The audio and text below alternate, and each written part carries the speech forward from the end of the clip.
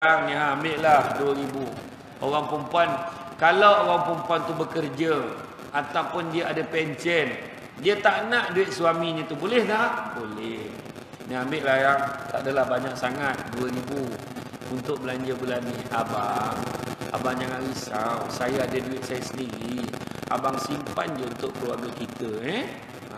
orang lelaki jangan risau. Itu tak akan berlaku kalau kau dah hulu memang dia sapu main tak ada dia tak ada ditolak kan dia. Aku nak tengoklah perempuan yang tolak. Tak apa bang saya tak nak. Mana ada. Yang ramai tahu tak apa. Ha tu dia. Kan? Dah lama saya tunggu dah baru dapat kata kan. Ha. Tapi syukur. Yang penting suami kita bagi apa terima kasih. Jangan banyak cerita. Kadang suami lagi satu kepantangan suami ni. Dia dia dengan penuh rasa seronoknya nak bungkus makanan bawa balik untuk isteri. Betul tak? Kadang dia bungkus nak bagi makan. Abang beli banyak sangatnya apa benda. Selalu tu. Kita dah beli ni.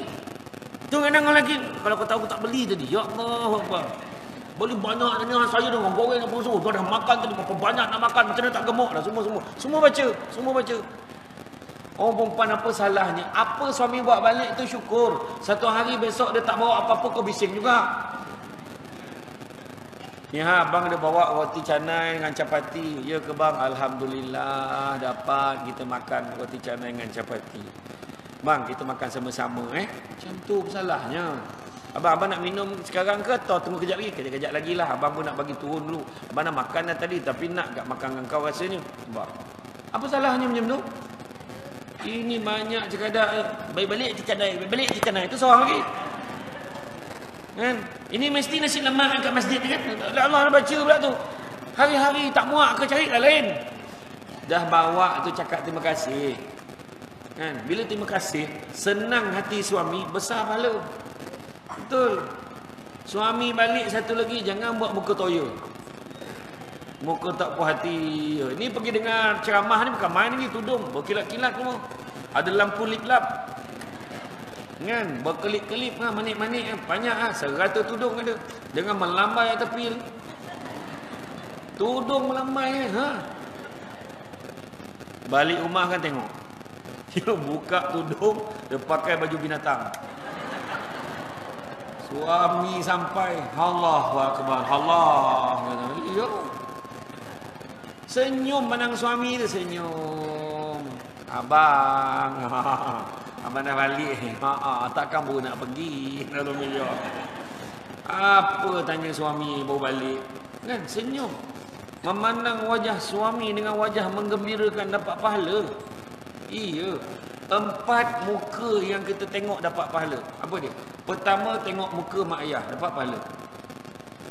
Mak ayah dah tak ada, dia zarah kubur. Jangan tunggu pagi raya je. Kan? Pagi raya nak pergi boleh. Jangan dengar cakap orang cakap pagi raya tak boleh pergi kubur tu jangan dengar. Nak pergi pergi aja. Cuma jangan diwajibkan. Tu tak boleh. Nak pergi kubur mesti pagi raya. Pagi lain tak boleh. Ha tu salah. Tapi nak pergi bila pergi pergi. Termasuklah pagi raya nak pergi, pergilah. Yang tak boleh tu dia kata orang oh, ni mengikut Yahudi lah apa. Yahudi pergi kubur, dia meratap-ratap kat kubur tu, yang tu tak boleh. Ya bang, laki aku bangunlah rindunya bang, bangunlah bang, rindu ke abang. Ha, tu je. Bangun kawan tu, langsung dia pula mati. Banyak benda lain nak buat kan. Itu satu. Yang kedua pandang apa? Yang kedua pandang wajah suami, suami pandang wajah isteri, pak pahala. Tengok bini tengah lipat kain. Allahu akbar. Suami bini hmm, hmm. Kejap di kat rambut tu. Rambut. Kosong, kosong. Dah rupa memerang pun ada. Hmm. Hmm. Ya suami duduk kat sofa Allah bini aku. Aduh. Lepas tu bini nampak. Apa tu tengok? Allah, Allah, ada marah pula. Ada marah pula. Aku tengok. Bini aku ni Allah Dulu cantik Sekarang ni ada lagak cantik ni Tapi tengok Allah Comel tu ada lagi Bila marah lagi comel Dapat pahala tengok bini tu yang bini pula tengok suami dia dalam tengok-tengok dia tadi terlelap. Dengan kainnya, dengan apa duduk. Bini lipat kain berhenti. Ya Allah, suami aku. Dulu handsome.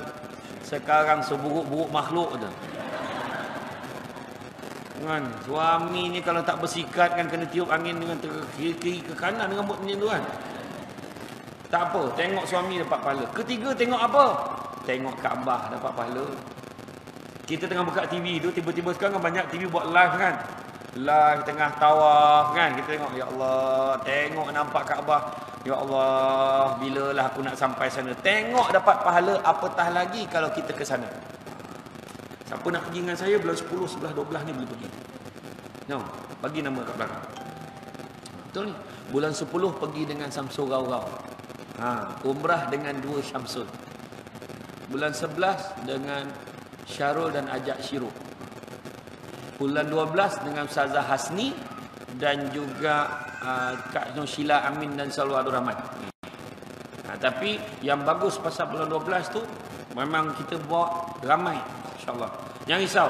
Jangan risau pasal sampai dekat airport pusing balik. Jangan risau. InsyaAllah. Sebab kita boleh lepas sign perjanjian catat dengan MAS Airbus tu. Kapal terbang yang besar tu. Jangan risau. InsyaAllah ada tempat. Ya. Kemudian, bila cerita pasal yang keempat ni, yang keempat pula tadi tengok Kaabah dapat pahala. Yang keempat, tengok Al-Quran. Tengok Al-Quran pun dapat pahala. Apatah lagi membacanya apatah lagi mengingat isi kandungannya apatah lagi menghafalnya Nabi pesan Nabi bagi tahu apa akan tiba masanya umatku nanti dia membaca al-Quran tetapi tidak sampai pun ke tenggorokannya maksudnya tak sampai ke takak pun dia mengaji. Maksudnya apa? Kalau kat tekak tak sampai apatah lagi pada hati itu yang kena faham. Dia ngaji mengaji dapat kain batik dapat kain plekat bulan puasa itu kan? Geng-geng tadarus. Kan? Dapat tu je lah. Dia ngaji mengaji tapi tengok. Sedangkan kita dah nampak kan? Kita dah nampak bila kita tinggalkan Al-Quran kita akan rasa kekok bila mengaji balik hari pertama hari kedua tersangkut-sangkut baca yang panjang jadi pendek yang pendek jadi panjang kemudian tiba-tiba tak dapat nak nyambung berhenti sekejap ulang balik Masuk hari kelima makin lancar, makin lancar. Masuk hari ke sepuluh makin lancar. Sudahnya laju mengaji sampai hujung. Maknanya kena baca selalu. Sehari kita tinggal Quran, seminggu Quran tinggalkan kita. Seminggu tinggalkan Quran, sebulan Quran tinggalkan kita. Sebulan tinggalkan Quran, setahun Quran tinggalkan kita. Setahun tinggalkan Quran. Mana uzbillah, kita bimbang seumur hidup Quran tinggalkan kita. Salah satu caranya tu cuba hafal. Surah Yasin ramai yang dah hafal sebenarnya. Tapi sebab tak amal, dia jadi terlangkau-terlangkau. Kalau baca sendiri tiba-tiba dah habis. Kalau dia baca Fatihah, uh, kalau baca Yasin dengan jemaah, kalau dia tak buat kitab pun tak apa. Imam sam baca mula-mula dia tahu nak sambung sampai hujung. Betul tak? Sebab kita tak istiqamah dalam mengulangi benda yang kita dah hafal. Macam kita pergi umrah lah. Bacaan-bacaan tu kadang-kadang kita dah ingat lah. Tapi pergi pergi sana, kita ulang balik pun kita dapat. Tapi kalau kita tinggal memang lupa. Ha, itu dia keadaan eh.